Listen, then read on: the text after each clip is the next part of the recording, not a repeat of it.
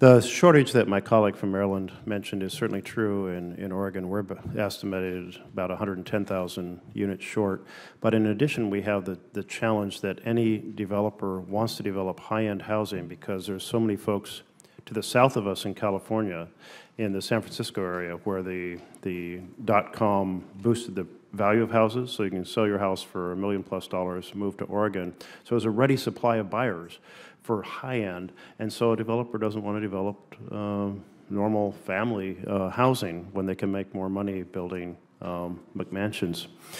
The, I want to turn to a different part of the puzzle, though, and that is the involvement in hedge funds. Since 2009, when we had massive foreclosures, they were sold in bulks of a, of a thousand or more houses at a time. The only people could buy them were hedge funds. Hedge funds discovered that this was a fabulous in, investment, both from appreciation, appreciation that would have gone to middle class families, uh, I lobbied the Obama administration hard to make them available to families because they were being sold 50 cents on the dollar at the time. Uh, and they said it was just too complicated and they were worried about slowing a process where houses might be exposed to frozen pipes or vandals stripping copper or so forth. So, but the long, long and short of it is the hedge funds became deeply invested in this market, and they've continued to do so, seeing how fabulously profitable uh, it is. Uh, they're buying now about a quarter of the houses uh, that are available, especially in the southern markets, places like Phoenix and, and Atlanta. But it's affecting states like Oregon as well. Uh, Ms. Bailey, um, uh, this uh, situation affects rents and and the price of home ownership both. And people said, well, how does it affect the renters? And the, my basic understanding that I want clarification from you on is uh, first of all, if an investor pays more for a house, they're going to charge higher rents, going to drive up the rental market in general. But also, if renters who have the income to buy a house can no longer buy a house because they're competing against a hedge fund, that means they don't move out of the rental housing, and that rental housing supply is going to remain shorter and therefore at a higher market price. Um, can you help us understand, are the hedge funds having an impact on the affordability of, of rents as well as home ownership? Yes, Senator, as you explained it, that's exactly right. We're really concerned about renters, especially higher income renters who are staying in the market um, longer than they would otherwise, and therefore driving up the cost because 30% of their income is higher, and so they can pay more.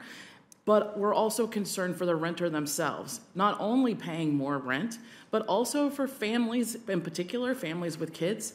Single family housing is typical is one of the ways that is, is, is really important to them. It provides the size. It's often in, uh, in, in places uh, with better schools and, and other amenities that families with kids need. And so we really need to maintain an affordability in the single family rental market for, for, fam- for low income families with yeah. kids.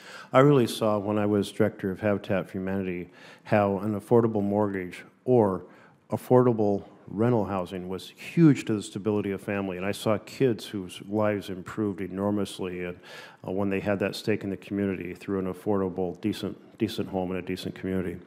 Uh, Ms. Ventura, your organization has helped tens of thousands of families enter home ownership through mortgage finance programs. And like, tens of thousands, that's awesome. That is, that is, that is tremendous.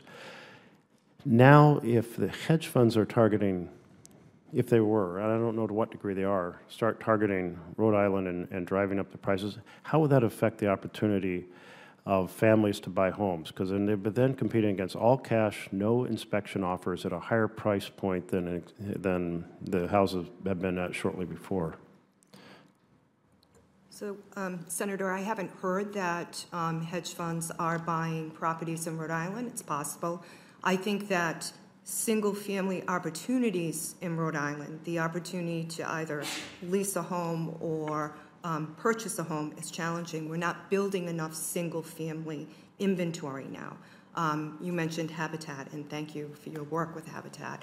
Our Habitat affiliates in Rhode Island do a terrific job providing just those opportunities, but we need to do more in our state in providing financing opportunities to develop that next level, leaving rental, home ownership, um, affordable home ownership, and the ability to build wealth. Hmm.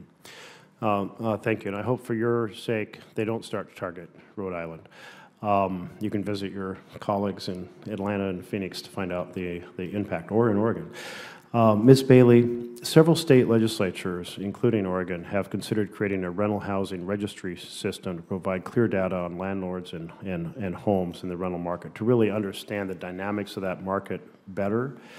Um, Would the benefits outweigh the challenges in setting up this kind of registry system? Senator, it, it could. It could really help. Sometimes it's a black box when, uh, related to rent, renting and being able to locate uh, units for families. So it, putting in the resources that it would take to be able to, um, and making it as easy as possible for landlords to register, putting in the resources to maintain a system like that could play a significant role in helping families uh, find a place to live. Right now, we know that housing authorities and other housing agencies are having to use resources to uh, pay for realtors and others who are try- who have to, ha- in order to help people with low incomes find rental units. Oftentimes, many of us have to do the same thing. Having such a, a registry could make a difference in just making it easier to access a, a rental housing. Well, I'll just close out with a, a comment on, on the hedge fund uh, side. Uh, we have all our traditional programs, uh, for example, housing vouchers. I spent an afternoon calling in the uh, uh, west side of Portland trying to find an apartment uh, that would take a housing voucher, and all the rents were way above the housing voucher, so I didn't find one. And I just did that for kind of understand it personally. Uh, so we have to amplify all of those, those programs.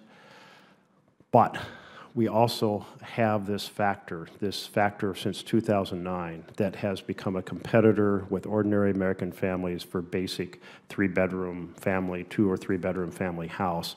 That is something we could do that could make a profound difference that doesn't cost the government a single dime, and then we should do it. We should get the hedge funds out of the housing business.